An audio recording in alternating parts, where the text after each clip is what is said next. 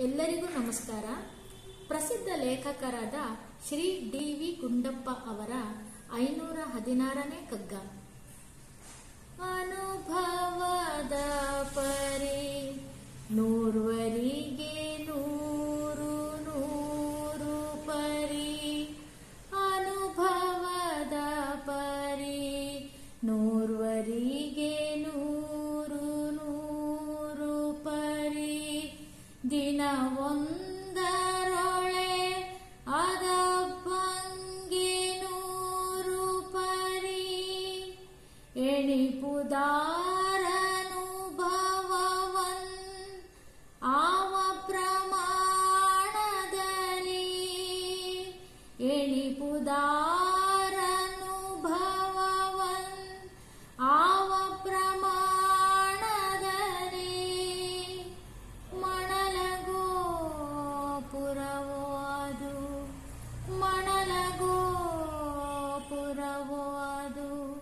ಈ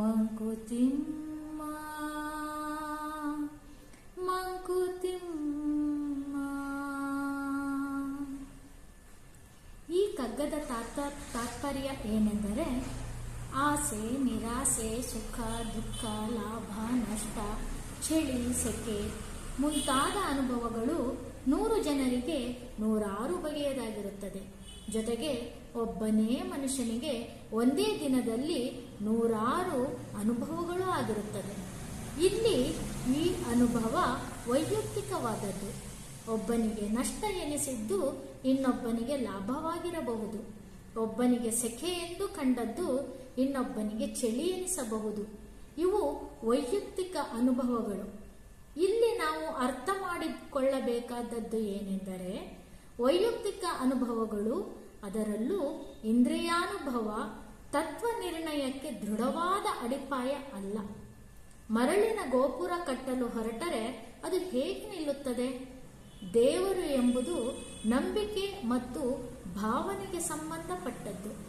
ಆ ನಂಬಿಕೆಗೆ ಮತ್ತು ಭಾವನೆಗೆ ಒಂದು ರೂಪವನ್ನು ಕೊಟ್ಟು ಜನ ಪೂಜೆಗಳನ್ನು ಸಲ್ಲಿಸುತ್ತಾರೆ. ನಂತರ ಮನಸ್ಸು ಬುದ್ಧಿ ಪ್ರಬುದ್ಧವಾಗುತ್ತಾ ಹೋದಂತೆ ಆಕಾರದಿಂದ ನಿರಾಕಾರದ ಕಡೆಗೆ ಸಾಗುತ್ತದೆ ನಮ್ಮ ಮನಸ್ಸು. ಅಲ್ಲಿ ಭಾವ ದೃಢವಾಗುತ್ತದೆ. ಭಕ್ತಿ, ನಂಬಿಕೆಯಲ್ಲಿ ಯಾವ ಕಳಂಕವೂ ಇರುವುದಿಲ್ಲ. ಇದು ಈ ಕಗ್ಗದ ತಾತ್ಪರ್ಯ. ನಮಸ್ಕಾರ.